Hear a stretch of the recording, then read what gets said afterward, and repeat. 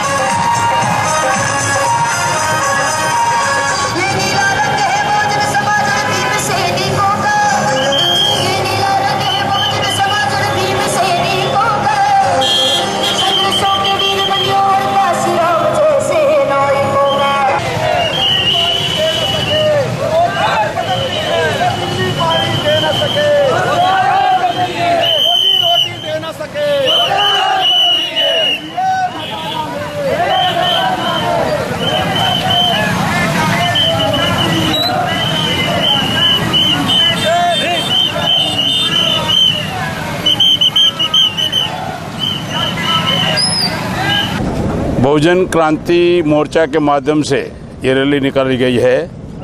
V L Matang नाम है, national coordinator संयोजक इस बहुजन क्रांति मोर्चा के। ये बहुजन क्रांति मोर्चा के माध्यम से परिवर्तन रैली निकाली गई है। ये केवल मात्र बिहार, राजस्थान में नहीं है। इससे पहले बिहार में 5000 किलोमीटर की रैली समापन हो चुकी है पिछले महीने। इस बार 16 अगस्त से हमने रैली निकाला है 17 सितंबर को जयपुर में इसका समापन होगा। और उसके बाद गुजरात का 18 से शुरू हो जाएगा और 22 अक्टूबर जाएगा। ग्यारह हज़ार किलोमीटर की ये परिवर्तन यात्रा है। ये परिवर्तन यात्रा का उद्देश्य है कि S C S T O B C और माइनॉरिटी का जो, ये जो वर्ग है, जो बहुजन समाज है, ये छः हज़ार जातियों में बटा हुआ समाज है और लाखों संगठनों में बटा हुआ समान है, समाज है।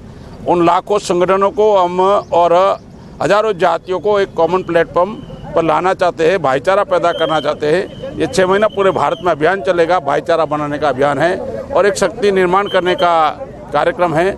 इस देश में जो वंचित लोग हैं, गरीब लोग हैं, अशिक्षित लोग हैं मजदूर लोग हैं, जो पीड़ित लोग हैं, उनकी आवाज़ कोई सुनवाई नहीं हो रही क्योंकि उनकी कोई ताकत नहीं बना, बन पाए हैं। तो इनकी ताकत बनाने के लिए हमने छः महीना अभियान चला गया ये बहुजन क्रांति मोर्चा नॉन पॉलिटिकल ऑर्गेनाइजेशन हमारा ये जो एजेंडा है इस देश में वोटिंग मशीन हटाओ बैलेट पेपर लाओ। जो बड़े बड़े भारत से कई टेक्नोलॉजी में आगे है ना, जैसे America, Japan, France, Germany, Netherland, California, Italy, Bharat से कई गुना टेक्नोलॉजी में आगे है, जापान, फ्रांस, अमेरिका वगैरह। वहाँ भी बैलेट पेपर है। तो भारत में बैलेट पेपर लाने की, उसमें दिक्कत क्या है? बैलेट पेपर की दिक्कत क्या है? संविधान की जो जिन लोगों ने प्रतिया जलाई, ये देशद्रोह का देशद्रोह का कार्य है, क्योंकि पूरा देश संविधान के बदौलत चलता है और संविधान कोई की विशेष वर्ग का नहीं है, पूरे भारतीय जनता का है। उसको जलाने वालों को कम राष्ट्रद्रोह का, देशद्रोह का मुकदमा लगना चाहिए और कड़ी से कड़ी कार्रवाई होना चाहिए। इसकी हम लोग बहुजन क्रांति मोर्चा से पूरे देश में अभियान चला रहे हैं।